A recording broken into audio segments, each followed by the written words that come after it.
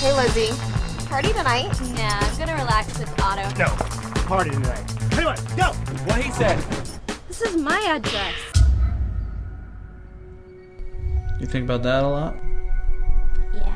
She's put on a double workload since he died. I was uh, looking for those papers in the realtor because I was talking to some of the guys down at the station. You, you know, and they were telling me that this place kind of has like a disturbing history.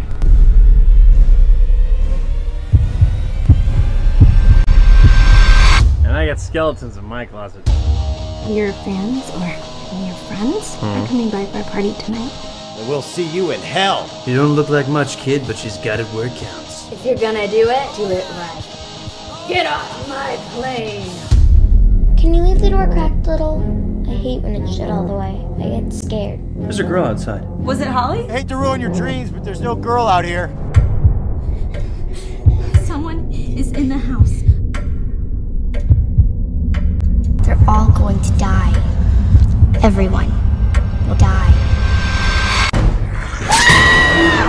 They're killing everyone. We need to hide or leave, like that little girl said. We need to fight. I'll be right back. What? Let's kill these bastards. Again.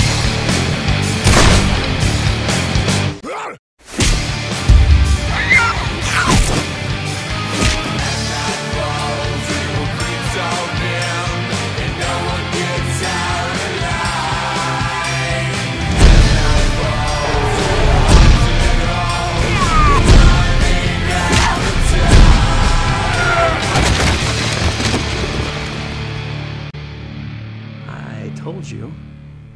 A little girl.